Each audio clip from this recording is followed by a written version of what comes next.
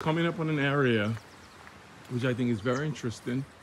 The name of that ravine is called Wavin Quashie. That's where we used to. Uh, that's where we used to. That's where we used to get go and get crabs. It's right up here in this opening.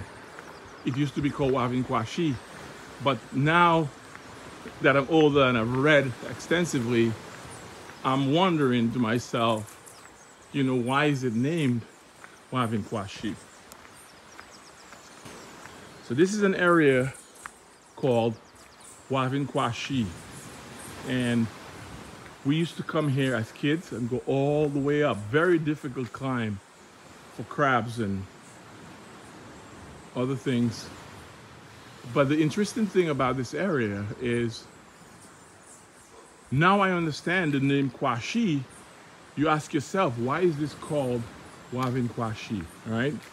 Quashie was a very famous maroon, very famous runaway uh, slave.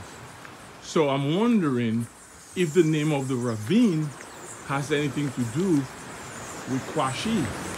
Because again, you have a you have a, a famous you have a famous runaway slave that was that was uh, caught and, and, and had a trial and he was murdered. He was killed by this plantation owners.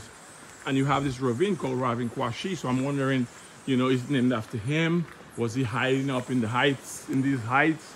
That's why it's called Wavin Quashie. I don't know. But anyway I'm keeping the track here.